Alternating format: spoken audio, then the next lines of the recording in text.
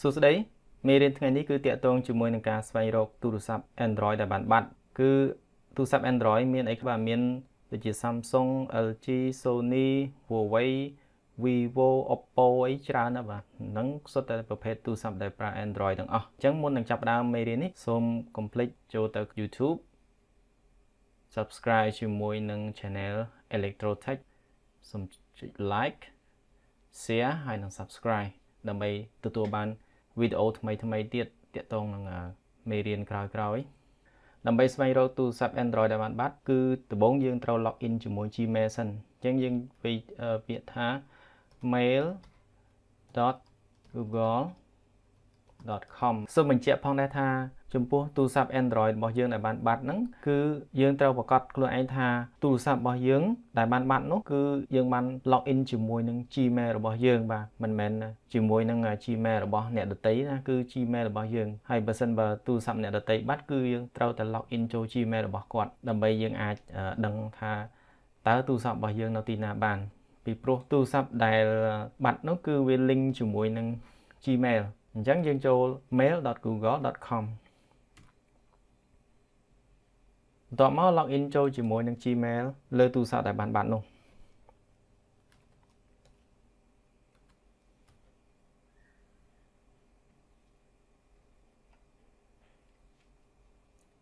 យើងចូល google.com យើងវាយពាក្យ find find my device យើងអាចចុច get started នៅទីនេះក៏បានឬក៏យើងចូលទៅក្នុងនេះយើងវាយពាក្យថា google.com/android/find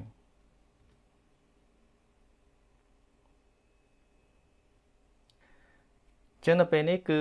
Google ដឹងថាទូរស័ព្ទខ្ញុំហើយនិង tablet របស់ខ្ញុំគឺបានភ្ជាប់ជាមួយនឹង Gmail របស់ខ្ញុំមួយនេះ ដោយសារតែ email របស់ខ្ញុំគឺ Gmail របស់ខ្ញុំហ្នឹងគឺបានភ្ជាប់ជាមួយនឹង tablet Galaxy Tab 2ផងជាមួយនឹងទូរស័ព្ទ OnePlus 3T ផងបើសិនបើ Gmail របស់យើងនឹងយើងភ្ជាប់ជាមួយនឹងឧបករណ៍ច្រើនទៀតវានឹងបង្ហាញនៅទីនេះបើសិនបើយើងមានតែមួយគឺបង្ហាញតែមួយទេ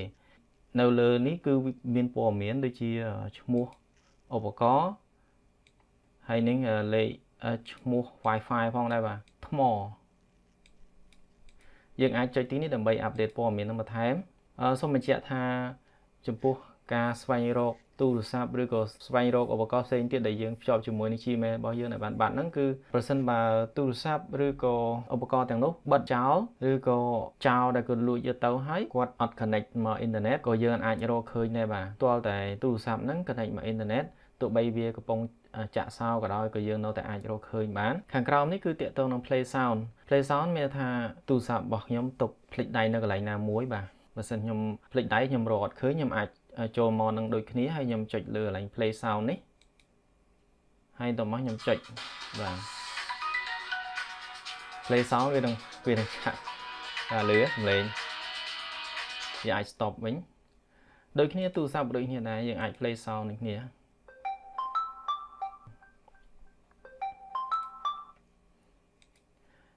អានេះបើសិនជាយើងភ្លេចដៃយើងអាចរកតាមរយៈនឹងបាននៅផ្នែក secure device នេះគឺជាការចាក់សោទៅលើឧបករណ៍របស់យើង ហើយសាញសាញអើមានថាចាក់ចេញពីក្នុងចាក់ចេញពី account Gmail របស់យើងទាំងអស់ account Gmail របស់យើង login នៅលើទូរស័ព្ទយើងមានអីខ្លះមាន Gmail មាន YouTube មាន Google Photo បាទមានច្រើនទៀតឬក៏ Google Map អីហ្នឹងបាទវានឹងសាញចេញទាំងអស់ហើយវានឹងចាក់សោឧបករណ៍ហ្នឹង ចំពោះឧបករណ៍ហ្នឹងបើសិនបើយើងអត់ទាន់បានដាក់ password ឧទាហរណ៍ដូចជា tablet របស់ខ្ញុំនេះ Galaxy Tab 2នេះខ្ញុំអត់ទាន់ប្រើចាក់សោលើអេក្រង់ទេវានឹងចេញឲ្យខ្ញុំបង្កើត password វៃ password ចូល new password តមក confirm password វៃ password ដដែលហ្នឹងចូលក្នុងប្រអប់នេះម្ដងទៀតហើយយើងចុច next ចំពោះទូរស័ព្ទរបស់ខ្ញុំនេះវិញនៅពេលដែលខ្ញុំចូលផ្នែក secure device នេះ វាខុសពីនៅលើ tablet ដោយសារ tablet ខ្ញុំអាចបានចាក់សោអេក្រង់ដោយឡែកទូរស័ព្ទរបស់ខ្ញុំខ្ញុំបានចាក់សោអេក្រង់វានឹងចេញបែបនេះវិញវាចេញ recovery message មានថាជាសារសម្រាប់ប្រាប់ទៅដល់អ្នកដែលបានទទួលឬក៏អ្នកដែលរើសបានទូរស័ព្ទរបស់យើងហ្នឹងចំណែក phone number យើងអាចវាយលេខទូរស័ព្ទរបស់យើងចូលអញ្ចឹងនៅពេលដែលចោលឬក៏អ្នកដែលគេរើសបានទូរស័ព្ទរបស់យើងហ្នឹងនៅពេលគេបើកបើកឡើងមានថាគេមិនអាចចូលទូរស័ព្ទរបស់យើងបានដោយដោយសារតែគេអត់មាន password ឬក៏គេអាចឆ្លងកាត់អេក្រង់បានទេប៉ុន្តែនៅពេលដែលគេបើកវានឹងឃើញសារនៅលើអេក្រង់ទូរស័ព្ទរបស់យើងជាប់សោឃើញសារដែលយើងវាយចូលនេះហើយនឹងលេខទូរស័ព្ទរបស់យើងបន្ទាប់មកយើងអាចចុច secure device ដើម្បីកំណត់ផ្នែក erase device នេះបើសិនបើយើងគិតថាទូរស័ព្ទឬក៏ឧបករណ៍របស់យើង ដែលយើងលែងសង្ឃឹមថាយកមកវិញបានហើយអញ្ចឹងដើម្បីសុវត្ថិភាពទិន្នន័យរបស់យើង គឺយើង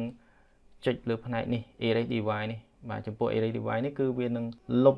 ទូរស័ព្ទឬក៏លុបឧបករណ៍ទាំងអស់ហ្នឹងចោលរបៀបដូចជាគេហៅ factory reset ហ្នឹងមានថាវានឹងត្រឡប់ទៅដូចទូរស័ព្ទដែលទៅទិញមកថ្មីអញ្ចឹងទិន្នន័យរាល់ទិន្នន័យទាំងអស់រាល់ការ sign in អីពីមុនមកប្រហែលៗគឺវាត្រឡប់ទៅវិញទាំងអស់ដូចទូរស័ព្ទដែលយើងទៅទិញមកថ្មីអញ្ចឹងចំពោះនៅផ្នែកទូរស័ព្ទនេះក៏ដូចគ្នាដែរវាមានវាមាន option ដូចគ្នាទាំងអស់